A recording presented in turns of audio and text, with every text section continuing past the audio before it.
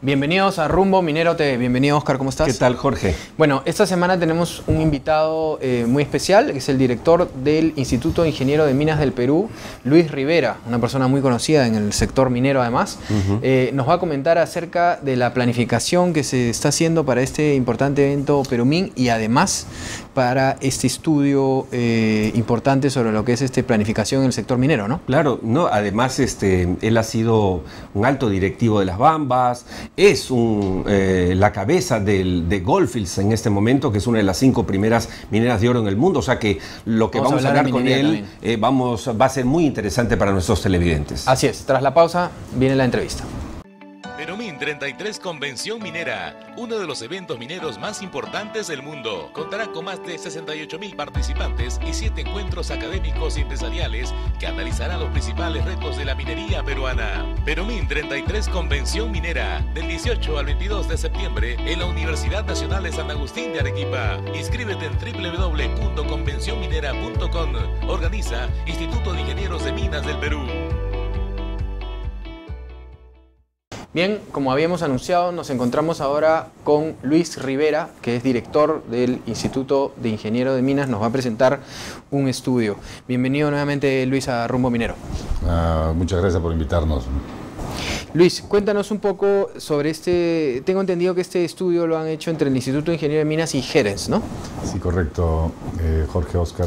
hace unos años, desde hace unos años, eh, el Instituto de Ingeniero de Minas de Perú ya hizo hincapié en una, una preocupación, creo que eh, se apropió de una preocupación del país.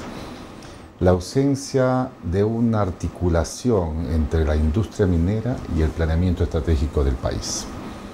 Surge en el periodo anterior del ingeniero Antonio Samaniego y se decide eh, tomar una alianza estratégica con Jerens para tratar de entender cuál es la problemática y qué se podría hacer para solucionar esa ausencia de articulación, esa ausencia de la industria minera en el plan estratégico del, país. Ya en el año 2014 y ya en el año 2015, en Perumín anterior, se presenta un trabajo previo. Gerens presenta un, un, estudio que se conoce, que lo tengo, planificación estratégica del sector minero en el Perú y benchmark con seis países mineros. Este estudio se ha terminado este año y hace unos días ha sido presentado en el, eh, en el auditorio del Ministerio de Energía y Minas. ¿En qué consiste el estudio?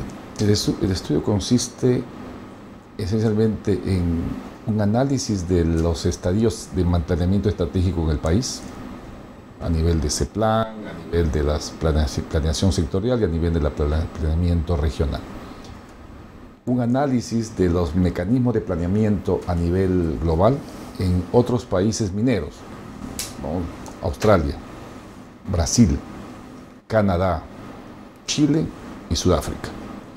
Y finalmente un benchmarking y una comparación de ese planeamiento en esos seis países en comparación con nuestro propio planeamiento estratégico. ¿Sí? Una comparación a los diferentes niveles y qué podríamos tomar de ese conocimiento, de esa experiencia internacional para llevar el planeamiento estratégico peruano a una articulación con su industria minera. ¿Y cuáles son las conclusiones? ¿Qué nos aconsejan esos resultados? Bien, primero, si me permites, Oscar, hay que entender que la toma de la información ha sido de países netamente mineros.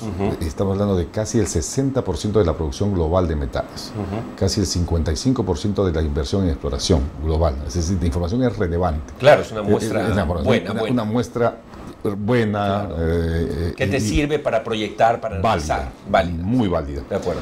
Eh, segundo lugar, se hace un primero una, primer lugar nuestros colegas de Gerens hacen una visión interna es decir, ¿cuáles, ¿cuáles son los eh, estadillos de planeamiento en el país?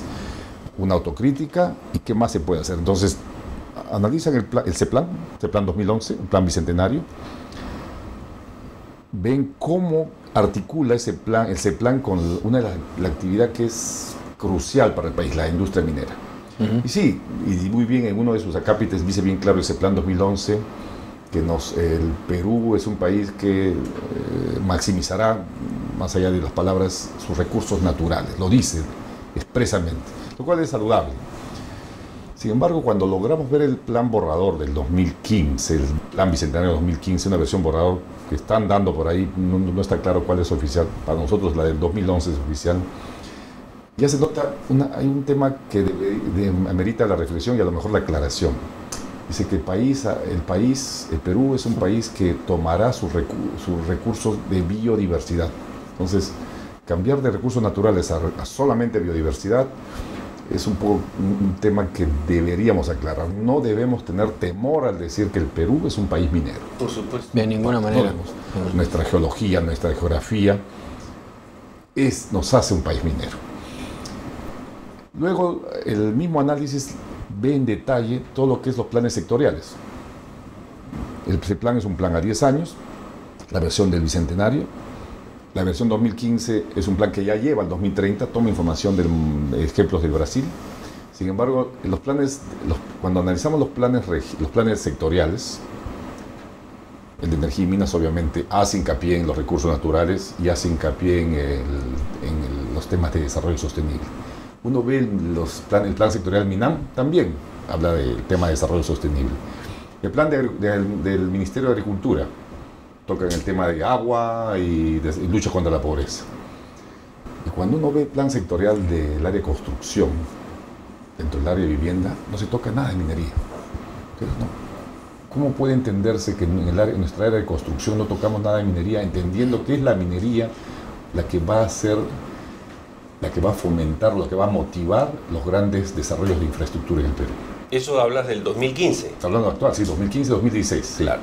Bueno, todavía estaba Ollanta Humala. Estaba el gobierno anterior. En el poder. Y Manuel Pulgar Vidal, a quien yo respeto por cierto, pero discrepo en varias cosas con él, ahí quizá dejó su huella.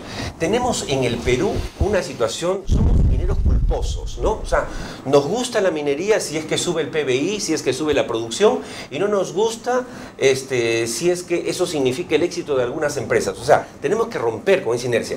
¿Tú crees, eh, Luis, eh, digamos, como punto aparte de lo que estás haciendo o punto seguido, eh, está compartir este análisis que han hecho con Gerens, que este gobierno está dando, digamos, claras señales de darle la importancia que tiene la minería para la economía nacional?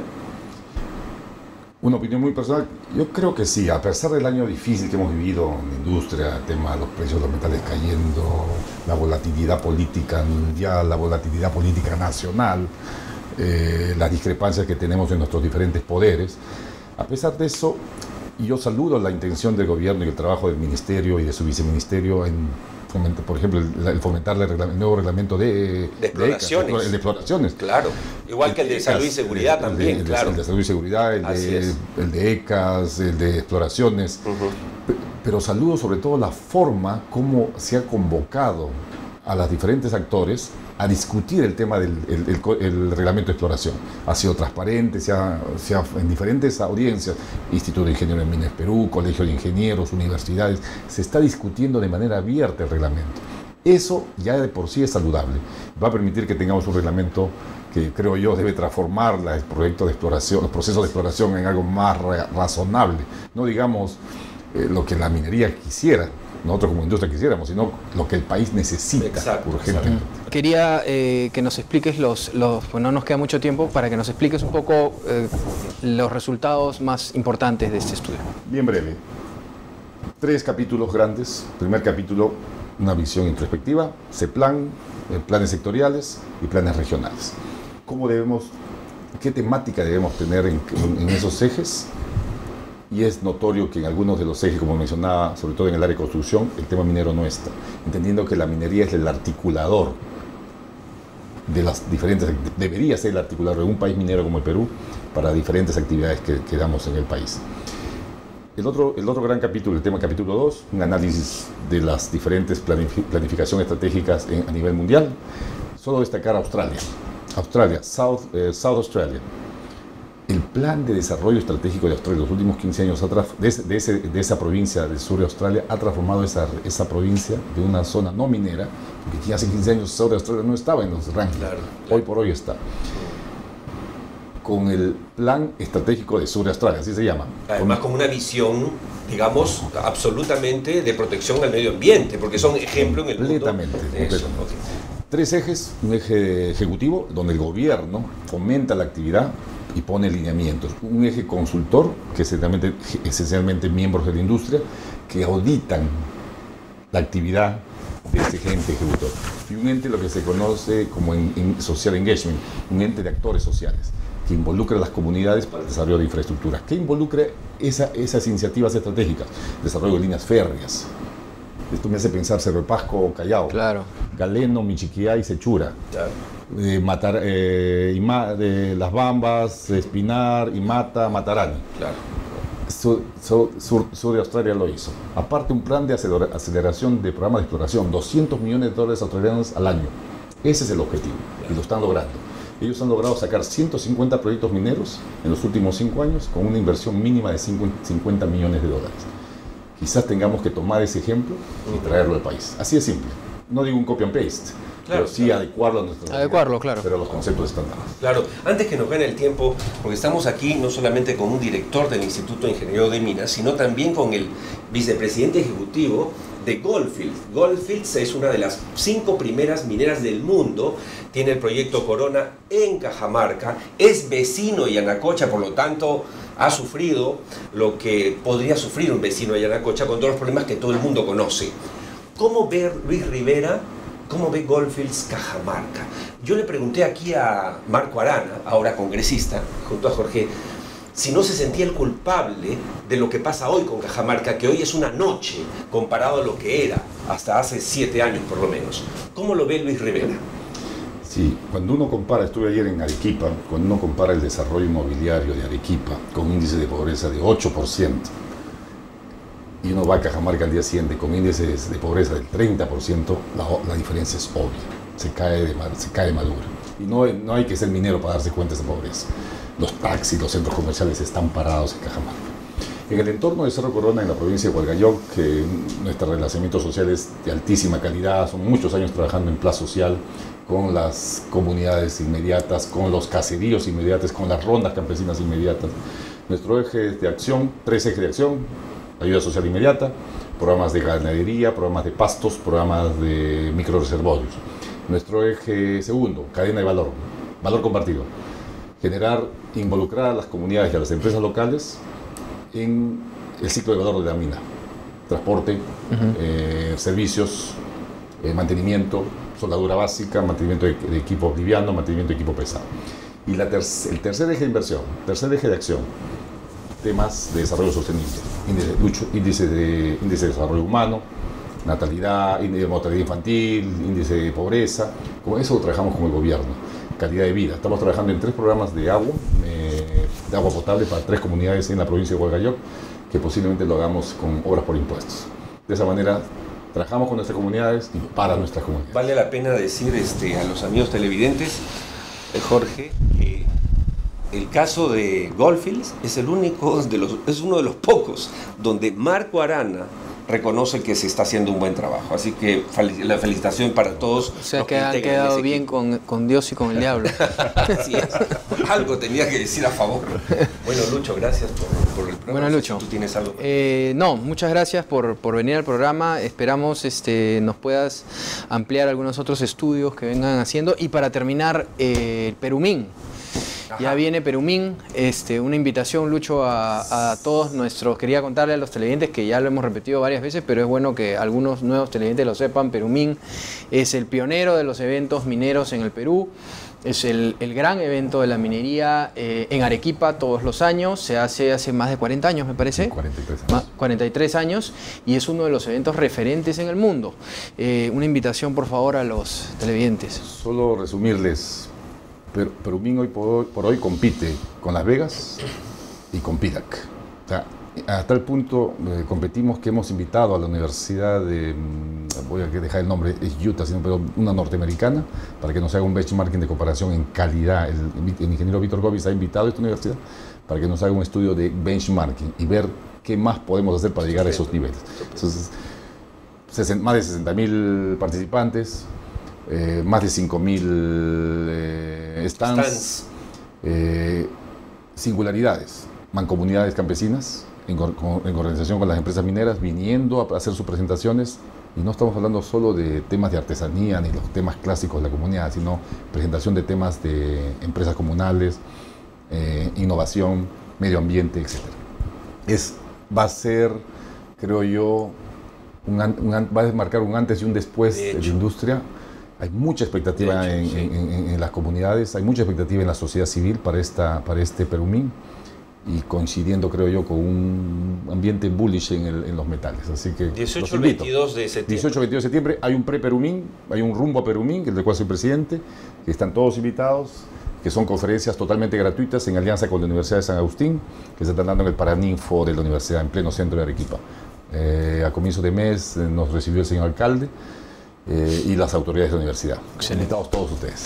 Listo. Ok, Lucho, muchas gracias por estar acá en el programa y esperamos tenerte en, otra oportunidad para hablar de, todos estos temas, no solamente del tema eh, minero, sino también del tema de los estudios del instituto y desde acá... Tenemos por... que volverlo a invitar de todas maneras. ¿ah? El hombre estaba en las bambas, estaba donde las papas queman, así que de hecho lo vamos a volver a invitar. Listo, Lucho. Gracias por estar acá. Gracias. Pausa y regresamos. Paz social, equilibrio ambiental, inversiones seguras. Para alcanzarlos, usted cuenta con un equipo multidisciplinario y de alta experiencia en asuntos sociales, medio ambiente, comunicaciones y redes, seguridad y salud ocupacional, asuntos legales y permisología. Desde hace 15 años, Viceversa Consulting, Gerencia Soluciones. Nos encontramos con el gerente de recursos hídricos de Southern Cooper, José de Pierola. Bienvenido, ¿cómo está, eh, señor Pierola? Buenos días, muchas gracias por la invitación. Vamos acá. Cuéntenos un poco, nos gustaría, eh, para que nuestros televidentes puedan entender un poco el, trabajo que viene realizando y esta, este tema de la minería y el agua, ¿no? Muchas veces este, tan cuestionado, ¿no? Pero realmente la minería usa eh, a, nivel nacional pues una suma irrisoria de agua, ¿no? Creo que el 1%, ni siquiera llega al 1%, ¿no? Eh, tomando en cuenta los beneficios que tiene para, para, para el Perú, ¿no? Claro, este, justamente es uno de los temas este, centrales del manejo de, la minería, el manejo del agua, desde la perspectiva no solo de la operación misma, sino también del entorno o de la unidad geográfica en la cual se ubica la operación minera, que es la cuenca. La cuenca es la unidad que gestiona, analiza, revisa y usa en general el recurso hídrico. Y de este entorno, pues la mayor parte de los usuarios son agrícolas. Entonces el Perú tiene casi 80, hay muchos países de Latinoamérica que están en ese orden, pero 80-85% del consumo de agua es en el sector agrícola y minería está entre 1 y 2%. Entonces, para volver un orden de magnitud. El gran problema que tenemos es que nuestra agricultura mide, trabaja eh, el uso del agua con una eficiencia relativamente baja, que es un 30-40% de eficiencia con lo cual pues hacemos números, eh, si la agricultura mejorase solamente en 10% su nivel de eficiencia de uso, pues estaría ahorrando más o menos 8%, 8% con lo cual supera pues tres o cuatro veces el consumo de, de agua minera. O sea, un proceso de tecnificación de la agricultura ayuda, ayudaría mucho a manejar de mejor manera la relación agricultura-minería. Específicamente, respecto a las inversiones mineras por parte de Southern. Ustedes en mayo recién, lo cual no es una novedad, son después de Antapacay la minera que más invierte en el Perú. De esa inversión, además obviamente los temas logísticos, operacionales, ustedes también están muy preocupados por el manejo del agua, por eso que lo hemos invitado. Diciendo usted gerente de recursos hídricos y siendo el agua un tema tan sensible, sobre todo socialmente hablando, este, nos parecía importante conocer qué esfuerzos se está haciendo, por ejemplo, Southern en ese campo. Bueno, en las zonas de operaciones. Claro, el, el, principal esfuerzo que estamos ahorita desarrollando es el siguiente, o sea, vamos a desarrollar o estamos ya en camino a implementar la ampliación Toquepala al doble de capacidad de producción, porque la concentradora está actualmente en 60 mil toneladas, vamos a ir a 120 mil toneladas, y el reto es utilizar la misma cantidad de agua fresca. Porque la misma cantidad. Exactamente. En el proceso minero hay agua fresca y hay agua recuperada. Entonces la idea es no incrementar el consumo de agua fresca, pero sí mover el doble de material que tenemos en Toquepala. Con lo cual incrementamos la producción y con lo cual nuestra tasa de consumo unitario por tonelada molida cae. Porque tenemos la, el área, eh, tenemos Cuajone con 87 mil toneladas por día, eh, Toquepala con 60 mil, subimos 60 mil más, entonces vamos a tener 120 mil en Toquepala y 87 en Cuajone, superamos las 200 mil toneladas por día, pero con el mismo consumo de agua fresca. Ese es el resto. Corríjame si me equivoco, porque yo no soy un experto. ¿Es la industria minera la que mejor reutiliza el agua para su proceso de producción o es superada por alguna otra industria? En general, la minería tiene la capacidad de incorporar tecnología pues, este, de muy buena forma y lo hacemos permanentemente. Actualmente hay dos procesos que usamos. Uno de ellos es, eh, en el caso del cobre, ¿no? o sea, es eh, flotación por el proceso que estoy hablando, o sea, con las concentradoras, y el otro es con lixiviación.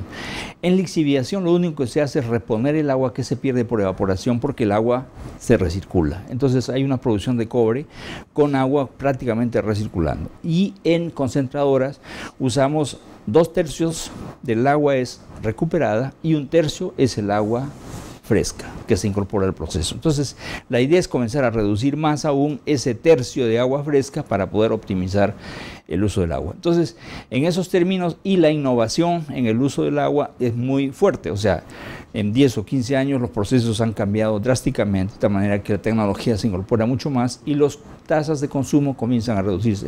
Estamos hablando de niveles del orden de punto 3, Nosotros estamos ahora en punto 7, pero estamos yendo hacia ese nivel para abajo para que ¿Qué, ¿Qué opinión tiene usted personalmente cuando ve a estas ONGs antimineras levantando estos famosos carteles que dicen agua sí, oro no?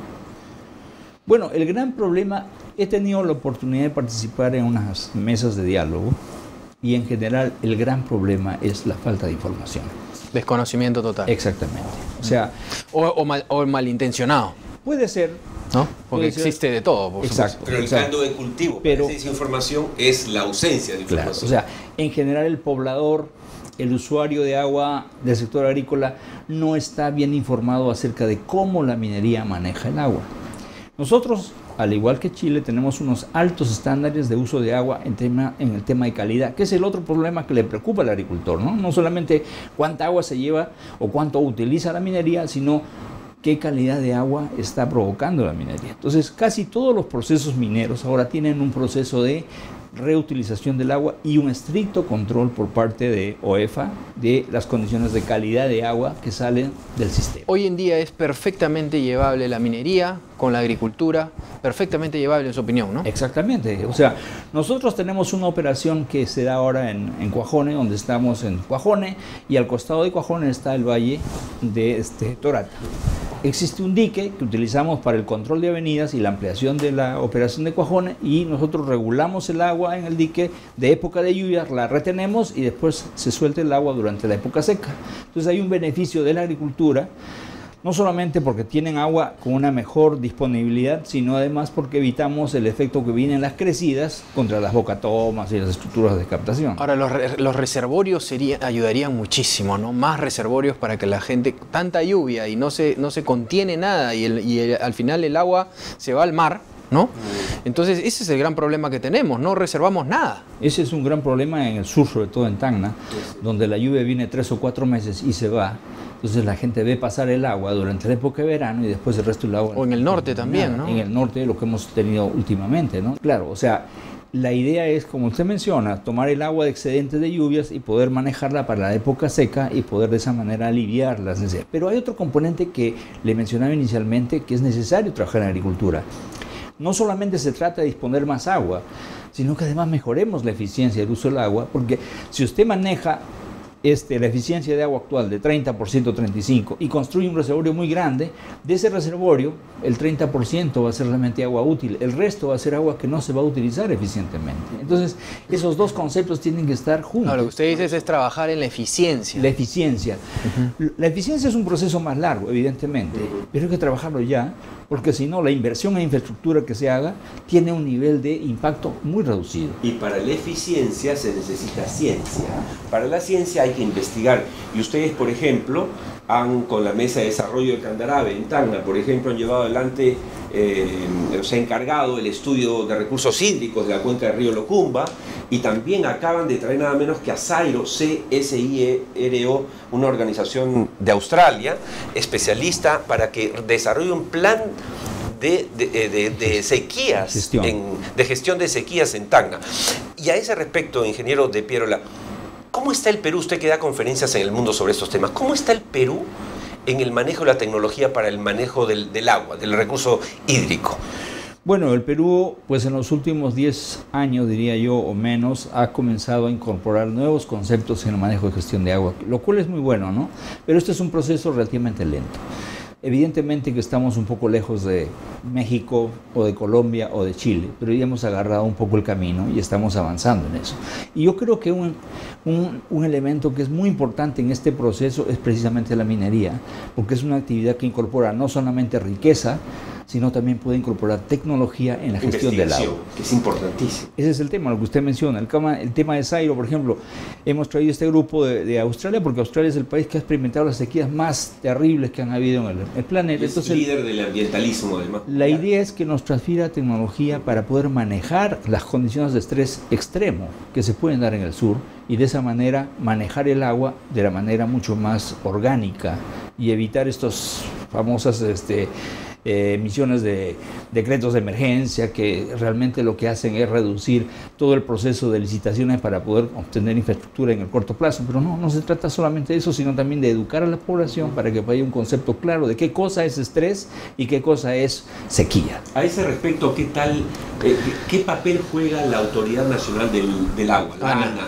¿Cómo están trabajando ustedes con ellos? ¿Encuentran colaboración? En general tenemos una relación muy interesante con Ana. Ana, eh, por supuesto, es la líder en el manejo del cambio este, de los sistemas de gestión ahora en el Perú en el agua tiene seis, siete mm, consejos de cuenca que los han denominado como uno, son instrumentos de gestión a nivel de estas, estas eh, unidades geográficas de cuenca y nosotros somos parte de eso y nosotros queremos transferir apoyo, eh, transferir conocimientos y ser parte del proceso que ANA tiene que implementar en Perú. Este es un tema que va a tomar mucho tiempo, pero ya estamos avanzando. El tema de infraestructura del agua también es importantísimo, ¿no? A nivel nacional me refiero, ¿no? Exacto. Justamente como mencionaba este, aquí este, el señor Díaz, en el caso de Locumba, por ejemplo, estamos planteando un acuerdo con la comunidad, hacer un estudio de toda la cuenca para priorizar las obras que se tienen que ejecutar pues y mejorar el uso de agua. ¿Para qué? Para que no entremos en esa corriente de que si hay dinero, invertamos aquí o allá, o el alcalde quiso eso, o el otro alcalde o sea, cada autoridad quiere hacer... No, eso tiene que ser un, planeamiento estratégico, ordenado, y la inversión tiene que darse de tal manera que progresivamente incorporemos mayor eficiencia. Excelente. Eh, señor Pierola, muchas gracias y además este, eh, gracias por, por también este, a Sauder por compartir esa información o quererla compartir con, el gobierno para poder hacer, como usted dice, un plan estratégico bien, bien, eh, bien planeado, pero sobre todo, lo más importante, sobre los que ya han eh, podido realizar diversas actividades con el agua, han podido mejorar la eficiencia. Esa información, compartirla es, es vital, ¿no? Sí, por supuesto, eso es justamente uno de los temas que nosotros este, nos ha preocupado mucho. Nosotros actualmente, por ejemplo, en nuestra página web, en la página web de Sauder, mensualmente eh, colocamos los reportes de agua que la autoridad de agua nos, este, eh, nos solicita y que las visitas de inspección para que en general el poblador entienda que nosotros no tenemos nada que esconder, o sea, la idea es mostrar los números y mostrar la forma cómo se gestiona el agua para romper este, esta idea Excelente. equivocada de que la minería es la que este, destruye el tema de agua. Así es. Bien, ingeniero de Pierola, muchas gracias por estar eh, con nosotros en el programa. Eh, nos queda corto el tiempo. Nos queda poco el tiempo, pero creo que, ha sido muy interesante. Que, la minería trabaja en cabecera de cuenca es un tema que nos gana el tiempo ahora, pero nos encantaría. No, ese es otro tema que sería interesante en su momento conversar con por supuesto. ¿cierto? Que todo sí. cabecera de cuenta. Sí, sí, sí, por supuesto. Muy bien. Gracias, ingeniero, por estar con nosotros. Lo esperamos en otra oportunidad aquí en Rumbo Minero. Muchas gracias. Pausa y regresamos. Bien, a continuación acompáñenos al bloque del Instituto de Ingenieros de Minas del Perú.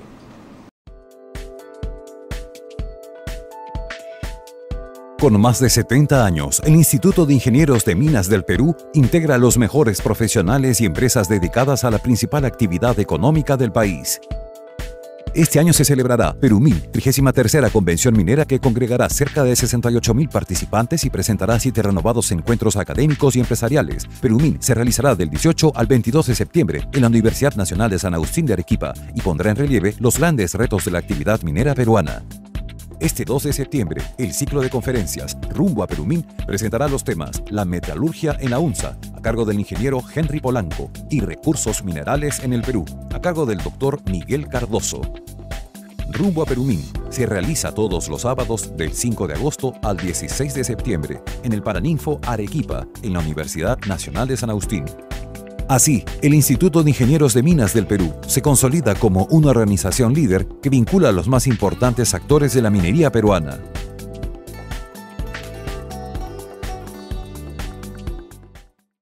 Veamos ahora las principales noticias del mundo minero de esta semana gracias a la revista Rumbo Minero. Este bloque llega gracias a la revista Rumbo Minero. Tres empresas fijan su atención en Michiquillay, anuncia proinversión. Gobernadora de Arequipa afirma que hay avances en licencia social para Tía María. Ministerio de Energía y Minas emite normas para prevenir accidentes en operaciones mineras. Anglo American terminará trabajos técnicos en Quellaveco a fin de año. MinSur buscará aguas subterráneas para posible expansión de Pucamarca. Bien, hemos llegado al final del programa. Definitivamente una entrevista muy importante. Y hablando justamente de temas importantes, tenemos una mención que nos va a hacer Alfredo sobre Expomina 2018. En septiembre del 2018 va a ser la gran feria minera del Perú. Así que adelante Alfredo con la información. En el año del impulso minero, el Grupo Digama organiza Expo Mina Perú, la feria minera internacional más grande e importante del 2018. En esta edición presentará Confemin, la gran conferencia internacional de minería, principal plataforma empresarial minera del Perú. Expo Mina será del 12 al 14 de septiembre en el Centro de Exposiciones Jockey. Amplíe su cartera de clientes y genere mayores ventas en Expo Mina 2018. www.expominaperú.com. Gracias Alfredo. Ahora solo queremos recordar a los amigos que quieren hacer buenos negocios con el sector minero específicamente, pues anunciar en la mejor revista, que es Rumbo Minero. Así es. Bien, también mencionarles, Oscar, que ya viene la conferencia Perú Mining Business. Lo que hemos hecho es ah, atender el llamado de todos los proveedores, de gran parte de los proveedores del sector minero, que quieren proyectar hacia dónde va el sector minero este 2018. Así que vamos a hacer una conferencia eh, desayuno, Perú Mining Business, el 8 de noviembre en el, en el Swiss Hotel. Eh, y va a ser una conferencia donde tenemos empresas como Pricewaterhouse, tenemos este, Deloitte, tenemos la Tecnológica de Monterrey, tenemos el Ministerio de Energía y Minas, que nos van a poder proyectar qué es lo que se Con viene. buena información. Así es. sí. Y de esa manera ustedes van a poder hacer su estrategia de negocios para el 2018. Así que apúntense para esta importante conferencia. Bien, Oscar, muchas gracias como siempre A por ti. estar Un con placer. nosotros. Eh, a nombre del Grupo Digama les agradecemos por estar en este nuestro programa Rumbo Minero y los esperamos todos los sábados a las 10 de la mañana. No se olvide a continuación el programa Perú Construye. En lo que es minería, muchas gracias. Nos vemos. Con 13 años de experiencia, el Grupo Digama desarrolla herramientas de negocios e información con sus diversos productos para los sectores de minería y de construcción. Rumbo Minero, revista líder en el mercado minero. Perú Construye, revista comercial más importante de la construcción e infraestructura. Expo Mina Perú, la feria minera internacional más grande de Lima. Expo Arcón, el evento comercial más completo de la construcción. Minpro, el gran encuentro minero de gestión de compras y abastecimiento para el sector minero peruano. Programas Rumbo Minero TV y Perú Construye TV. Webs y boletines de noticias de Rumbo Minero y Perú Construye. Grupo Digama, su mejor herramienta de negocios en medios de comunicación y eventos empresariales.